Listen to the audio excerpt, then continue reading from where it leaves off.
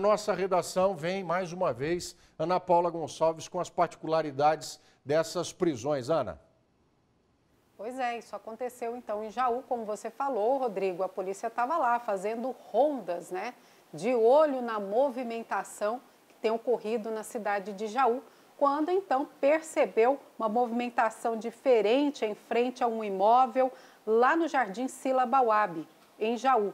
E aí, é claro, as pessoas que estavam ali no local acabaram correndo ao perceber a viatura, mas foram detidas. A Polícia Militar de Jaú, então, prendeu três pessoas em flagrante por tráfico de drogas. Isso aconteceu na tarde de ontem. E olha, Rodrigo, ao vistoriar o imóvel, os policiais encontraram crack, cocaína, materiais para embalar as drogas, balança de precisão e todos aí os apetrechos para misturar né, essas drogas aí. Os produtos foram apresentados na Central de Polícia Judiciária Civil, onde foi formalizado então o flagrante de tráfico.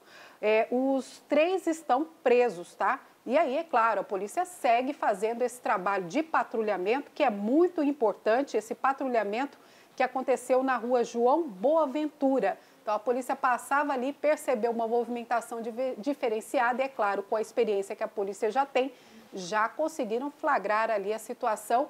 E aí, ao perceberem a chegada da polícia, as três pessoas tentaram correr, mas não deu muito certo não. Rodrigo. Ana Paula Gonçalves, muito obrigado, direto da nossa redação, trazendo informações. Nunca, nunca, nunca você fala. E eu repito, pouca droga. Isso aí, o tanto de gente que arrebenta esses pinos, meia dúzia deles com o farináceo dos infernos.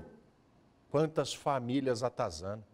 Quantas, quantas? Não consideramos o miúdo como irrisório. Parece pouco. E é desse jeito que faz com vida, né? Esfarela, mói.